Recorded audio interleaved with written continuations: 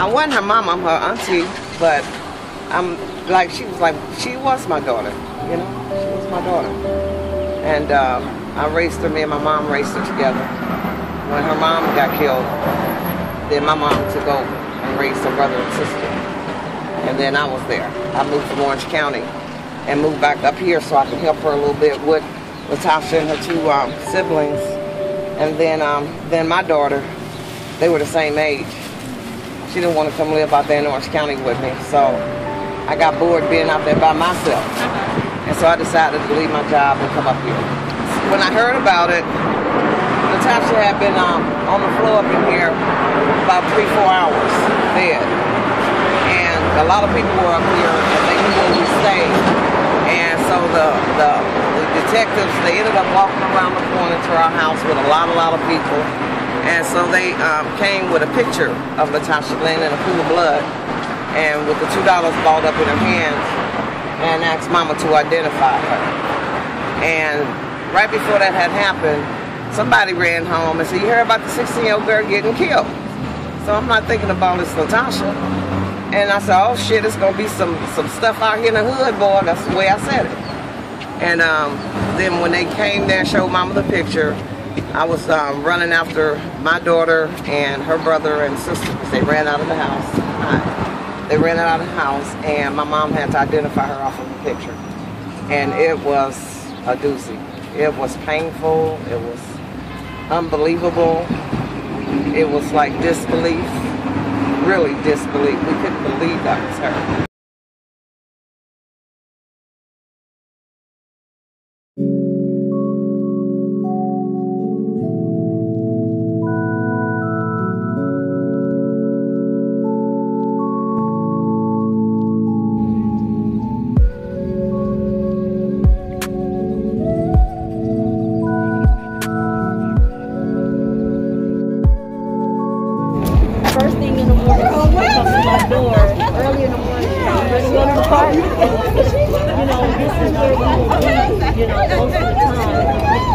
You know, it just Granted, there was a lot going on in the community, but we still were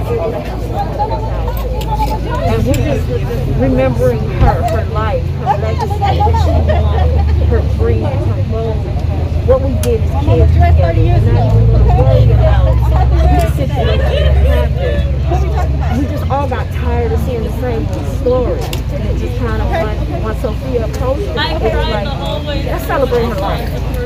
Let's not talk about the dad. Of course, that's going to be always a part of it, but the main focus was her life. Thank you so much. My name is Ruth Harlins. I am Latasha Harlins' grandmother. And first let me say this. Let me give honor to the Father, the Son, and the Holy Ghost. Amen. Amen. I have to honor. them. They are one. I have to honor them first as one. And I just thank him for giving me the strength to attend or to honor my granddaughter. And I thank each and every one of you all for attending It is a memorial of her. And it's so beautiful for you all to attend to remember her. And now they're dedicating uh, the playground to Latasha and Latasha Harlins' name. That's, that's wonderful. I'm really glad of that. I'm really glad. And uh, it's just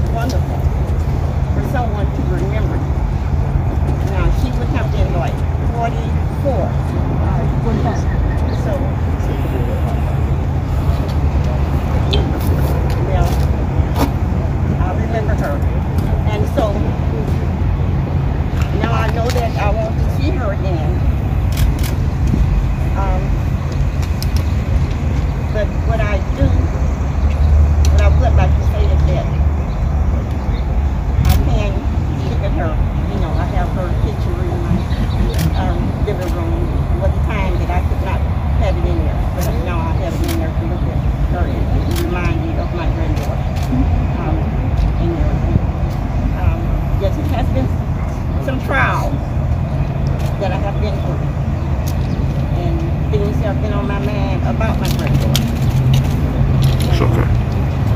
Glory to the Father. In the name of His only begotten Son, and the Holy Ghost, I just thank the Lord. Um, she left before me. But sometimes the parents go before the children. I remember her now because she won't say, well, happy birthday, my dear. I want you hearing that. I want you hearing that. But I think about sometimes, you know, it just bringing tears. So, but anyway, I thank you all for attending to uh, remember her, her memorial. I, I think each and every one of you all. Great job. Yes, Lord bless, Lord Jesus, bless all of you all. I just want to thank everyone for being here to honor my sister Latasha Harlins' life and memory of her name today. This has been a long time coming. Long time coming for our family.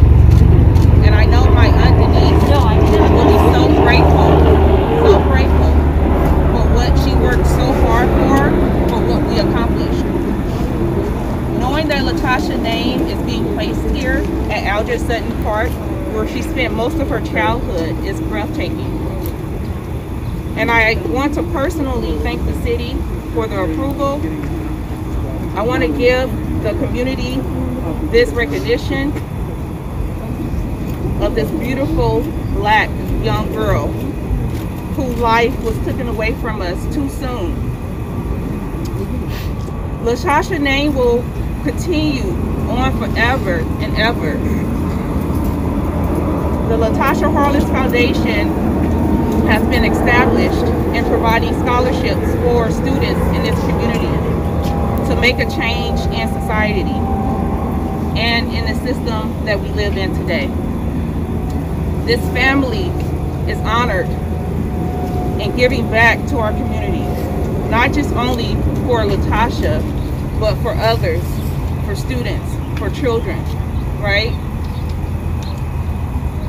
Latasha, we miss her dearly. We will keep her name in vain. And I just want to thank you all for your support and supporting us through this long journey.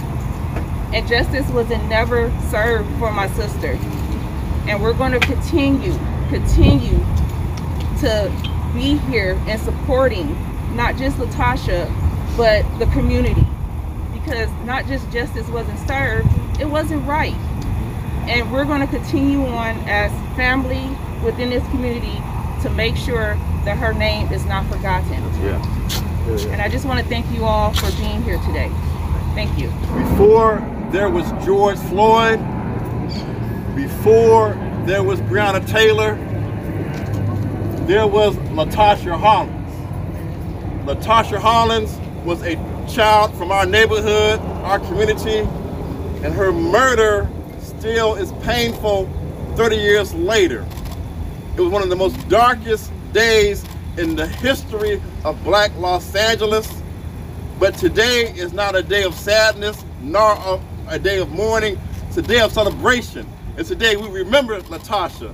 Say her name. Natasha. Say her name. Natasha. Say her name. Natasha. Say her name. Natasha. In my closing, I want to thank the Harlins family. We continue to stand with you. 30 years ago, 30 years later, we're still here, David. Rest in peace, Denise. And I have to thank Councilman Harris Dawson, my friend, our brother, our leader. When we've asked him to do this, he said yes immediately because he knows the importance of the Latasha and how much she meant to this community. So we thank Councilman Harris Dawson for his leadership in making sure this was done. So thank you, Councilman. Thank you, uh, Najee Ali. All right, I want to call forward uh, one of my colleagues on the City Council. Uh, I'll have you know the mayor and all of the City Council uh, have supported and endorsed the renaming of this playground uh, for Latasha Harlins, but we have our special neighbor uh, from just to the east of us, Councilman Curren Price. Thank you, Councilman. I'm, I'm just so honored to, to join with you, CD8, as we pay respects to Natasha. And our respects to the families.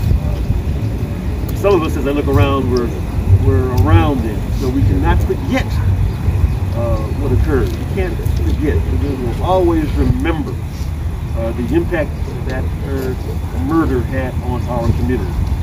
Uh, a young child merely going to the store. Uh, it just underscores the fact that everyone deserves dignity, respect, uh, and, and to be treated fairly. So uh, this is just a token of our appreciation, a token of our ongoing uh, understanding and support, uh, not just for the family, but for all the families in our community that have been impacted uh, by gun violence and uh, are certainly have to make a change. We're serious about the improving the condition of our community. So we're here to celebrate, to remember, and not to forget. We have Laura King. Laura King is the daughter of Rodney King, the CEO of the Rodney King Foundation. and one thing about Laura King, she continues to, her father's legacy, and no one can forget what happened to her father. And the Harlins family, the King family, are close friends. We continue to be united. And you can't think about Latasha Harlins without thinking about Rodney King. You can't think about Rodney King without thinking about Latasha. Um, first, give an honor to God because we are here and we are celebrating her life. Um, secondly, to um, Denise, she's not here. Rest in peace. and We miss her, and this moment is her. She fought so hard for this moment. So for us to be here, it's an honor. Secondly, to the Harlins family, I love you guys unconditionally, and there would be no Rodney King riots without Latasha.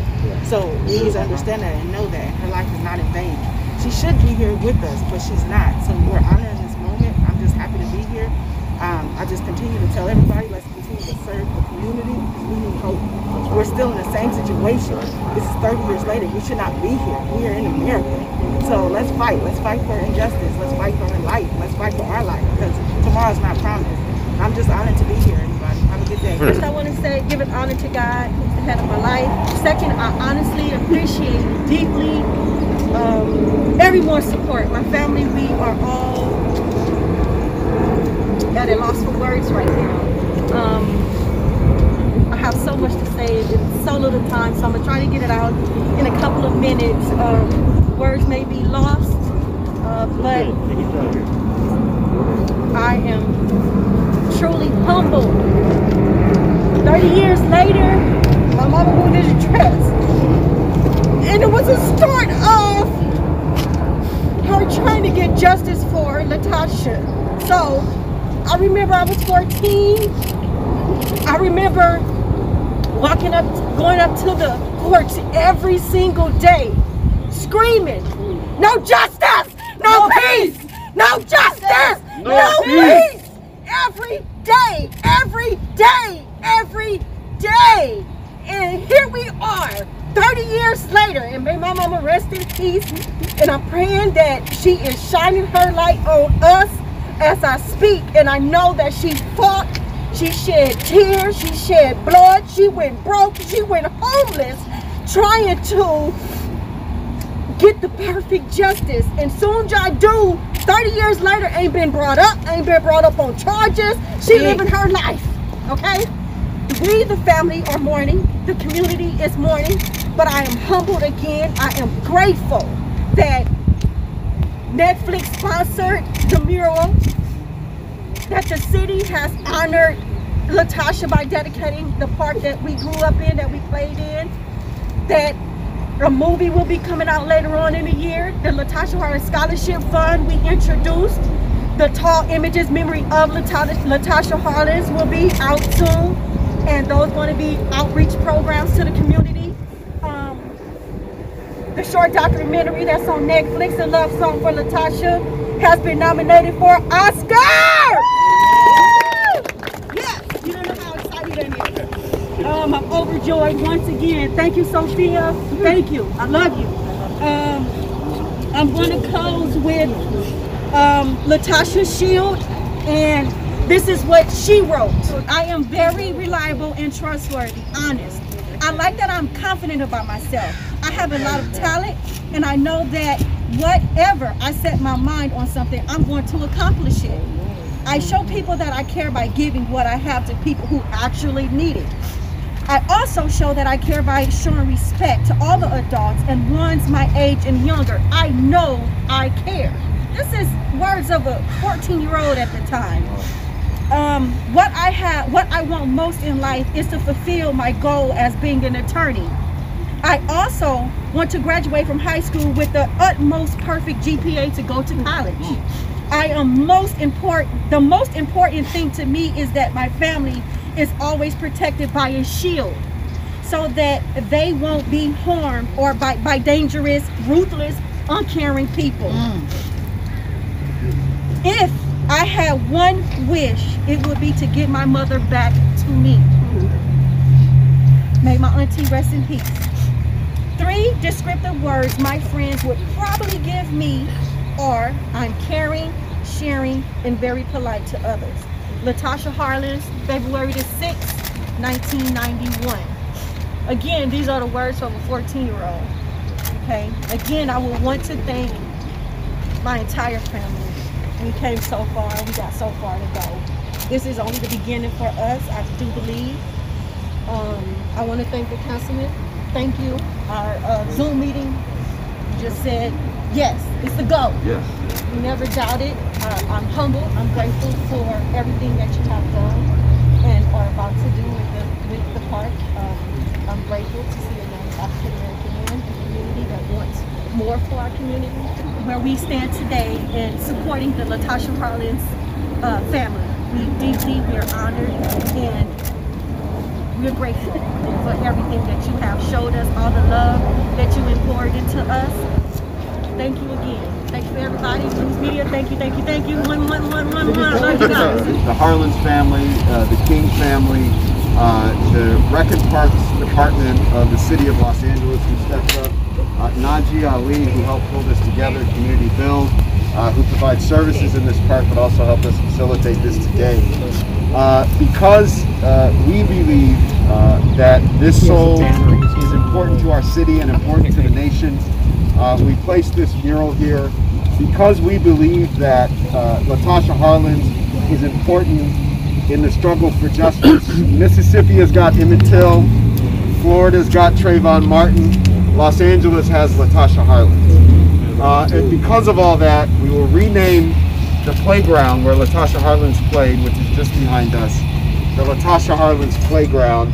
And we will commemorate that on April 29th of this year, the anniversary of the civil unrest uh, that started in this community. And so we will unfurl the, the mock sign that will be there on April 29th of this year. Family, come on, family. I want y'all to. I didn't see. Let me see.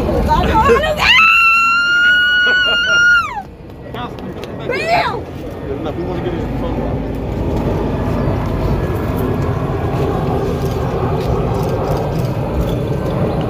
This is just a temporary sign. It's gonna get permanent real soon, y'all. Real wood, they're carving it right now. We're gonna bring it and install it April 29th of this year. Want to thank everybody for being here. Want to thank the media for covering this very, very important event for our community and the cause of justice everywhere. Everybody, Thank you. Thank you. A big round of applause for Netflix as well.